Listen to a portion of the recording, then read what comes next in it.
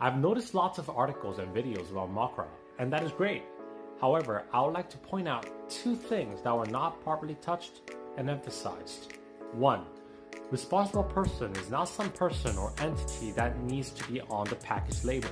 When you're on the label, you're telling the FDA that the agency can go after you. If I were the manufacturer or the owner of the brand, I wouldn't give that responsibility to anyone. 2. GMP.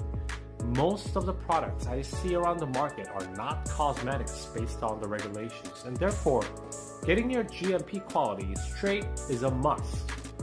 The most critical aspects of the two factors pointed out is that if you do it wrong, it might cost everything you've built thus far in the market, including your priceless brand image and accumulated revenue. I cannot stress enough about the importance of MoCRA, so prepare well.